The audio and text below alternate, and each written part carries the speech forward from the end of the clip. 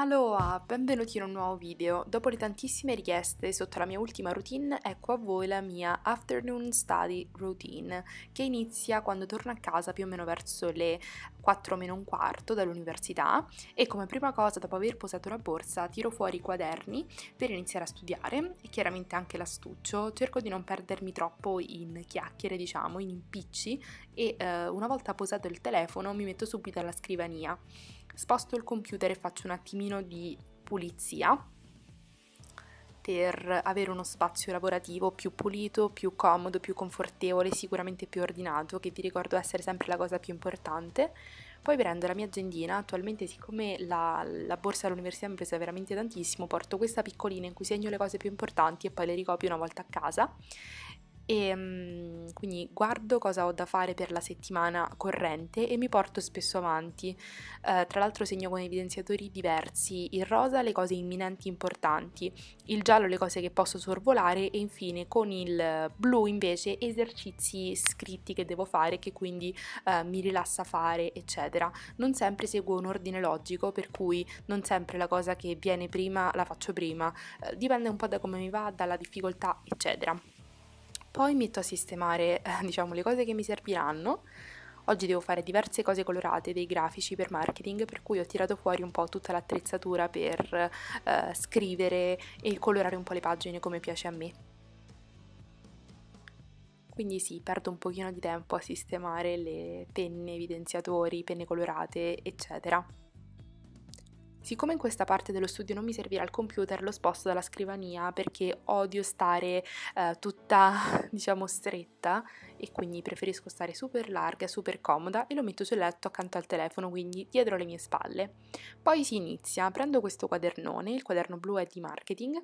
Marketing tra l'altro l'avevo fatto esattamente quel pomeriggio e siccome era una cosa che avevo ben fissa in quel momento, ho preferito finirla visto che mi mancava, non so se vedete l'esercizio sotto è vuoto e eh, era un'analisi di mercato che stavo facendo e volevo finire. Tuttavia, prima di iniziare con lo studio mi tiro sui capelli, perlomeno quelli davanti, perché odio averli davanti alla faccia quando studio, ma questo lo sapete, per cui mi sono fatta questo piccolo uh, codino dietro per stare più comoda e poi spalanco le tende perché voglio la luce naturale in questo periodo che è quasi estate e finalmente c'è anche fino a tardi. E inizio con il mio studio e um, questo era fortunatamente un esercizio diciamo scritto uh, uno studio molto molto pratico molto um, grafico. E quindi mi sono messa a farle come potete vedere i colori nei miei esercizi nel mio studio non mancano mai perché per me sono veramente molto importanti per ricordarmi le cose eccetera allo studio che faccio con gli esercizi e gli appunti che ho preso in classe um, aggiungo anche le fotocopie e le slide che il professore ci manda via email e trovo la cosa molto molto utile. Vi lascio anche i miei link per seguirmi un po' ovunque in descrizione, oltre che sullo schermo come potete vedere.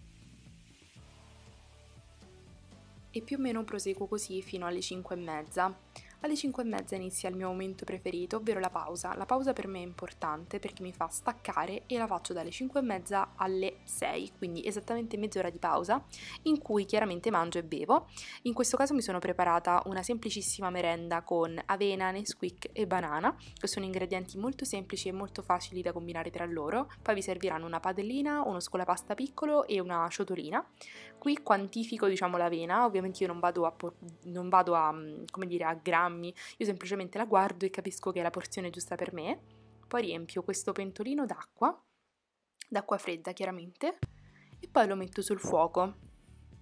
Accendo e la porto ad ebollizione, ve l'ho fatto vedere tante volte, ma per i nuovi iscritti vi faccio rivedere come preparo la mia avena con banana. Poi nel frattempo, mentre l'acqua sta bollendo, io apro la banana e la faccio in pezzettini in modo tale che quando poi l'avena è pronta, bella calda, ce la posso andare a mettere sopra senza perdere ulteriormente tempo.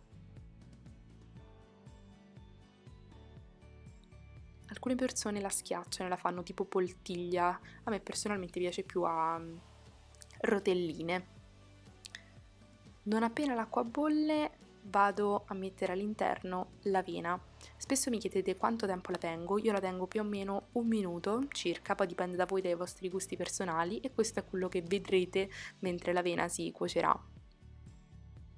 Poi nel piccolo scolapasta vado a scolare tutta l'avena e infine la vado a mettere nella ciotolina di prima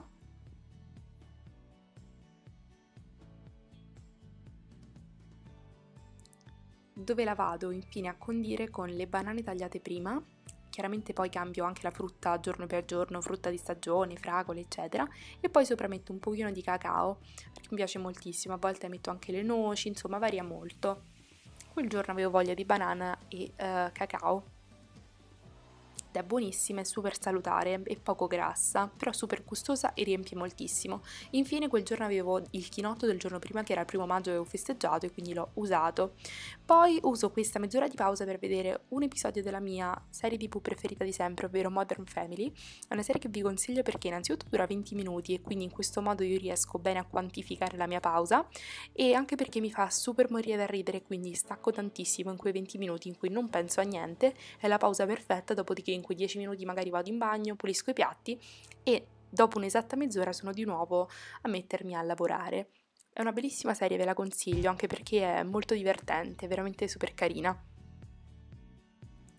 alle 6 spaccate torno diciamo a studiare, questa volta la seconda parte dello studio che più o meno faccio dalle 6 alle 7 è una parte molto sul computer, che è una parte che mi stressa di meno, ehm, per cui preferisco fare le cose scritte prima quando sono ancora fresca diciamo e poi più diciamo man mano va avanti la serata e più mi stanco, preferisco fare le cose al computer che in qualche modo mi svegliano comunque sempre un po' di più. In quel momento stavo facendo um, InDesign, stavo studiando un testo, una, un approfondimento.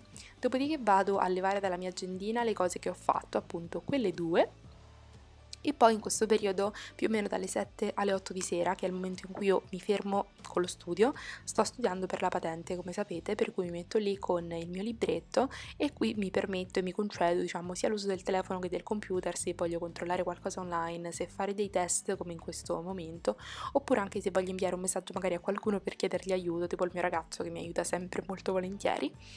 For- sono diciamo fortunata perché i miei occhi mi dicono quando non ce la fanno più a studiare, anche la mia testa testa e infatti più o meno verso le 8, 8 meno un quarto, dipende molto dai giorni, gli occhi mi, diciamo, mi mandano segnali d'allarme dicendomi che sto morendo di stanchezza e quindi mi fermo, mi levo gli occhiali, li metto a posto e lo studio finisce.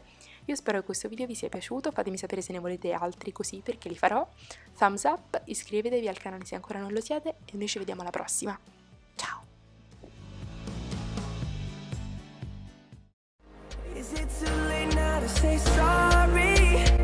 Cause I'm missing more than